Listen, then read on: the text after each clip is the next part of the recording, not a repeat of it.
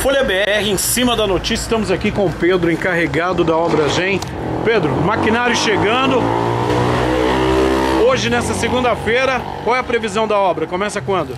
Então, o previsto está para amanhã. Hoje fazer o transporte das máquinas, que já está com locomoção já do início. Certo. E amanhã nós começamos já com o início da fresagem e recap do pavimento. Ah, o início da obra vai se dar lá do, do, do começo lá da Do rotatória. início, lá da rotatória e vai vir até aqui na... que- Aquela máquina que chegou ali, qual é o nome dela? É a Draga? Aquela ali é a vi- vibroacabadora. Ela faz o quê? Ela faz o acabamento da massa asfáltica. certo. Quanto está previsto para quantas máquinas ainda chegar no dia de hoje? No dia de hoje tem o rolo compactador, que é o rolo chapa. Certo. Temos para amanhã cedo já o carregamento da fresa, que é o que faz a. Né, o Esse trecho ali, Pedro, da rotatória até ali próximo à lotérica, que é a, onde termina a primeira etapa de vocês, quanto tempo vai levar mais ou menos? Sua, sua previsão?